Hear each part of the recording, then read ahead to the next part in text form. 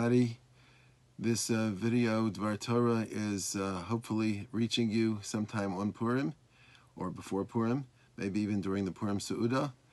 Uh, one of my goals is just to be able to connect to you somehow on this uh, Purim of uh, more disconnection than normal. So uh, I have a Dvar Torah that I want to share with you.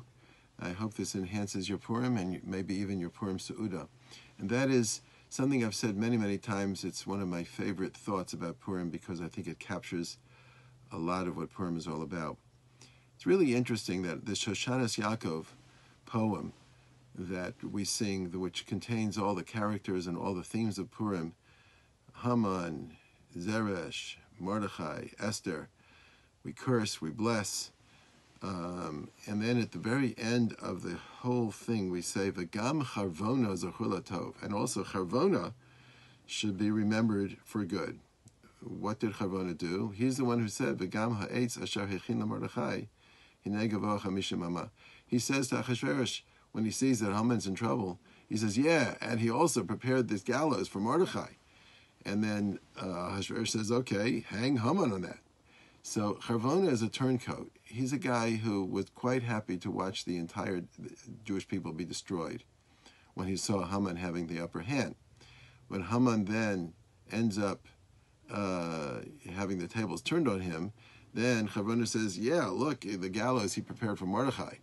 So Charvona doesn't care about the Jewish people, but he ends up pointing out the gallows upon which Haman is finally uh, hung. So what's that all about? Why is the last thing that a person says on Purim, uh, you know, a person gets high and maybe even gets too high, and before he collapses on the floor uh, in a drunken stupor, he says, "V'gam charvona latov." That's the last thing that we say. That's like the the ultimate, final parting thought of Purim. He's the least of the characters that we really appreciate on Purim.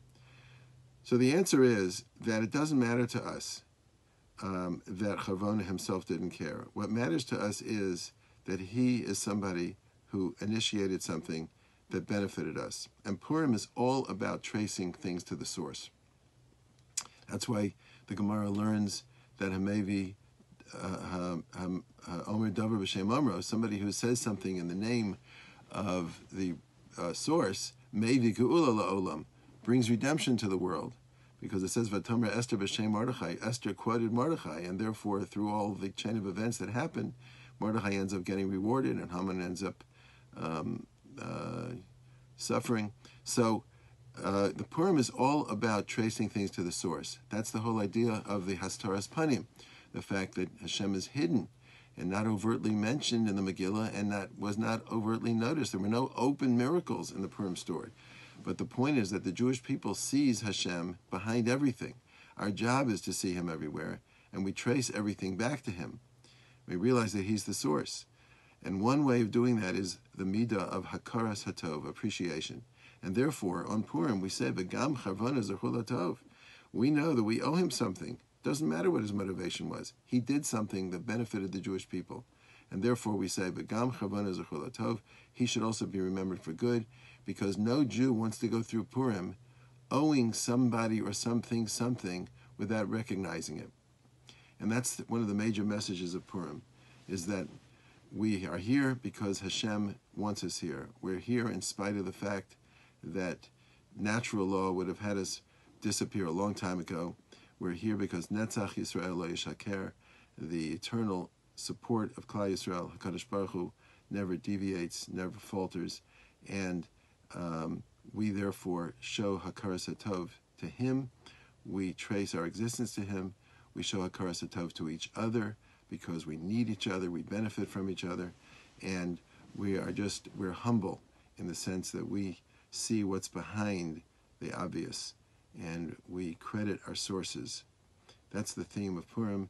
That's the idea of seeing Hashem benister and hidden, and that's what we want to take out of Purim. So. I wish you all a wonderful Purim, a happy Purim, and uh, I hope everything goes well the rest of your day and a wonderful Shabbos.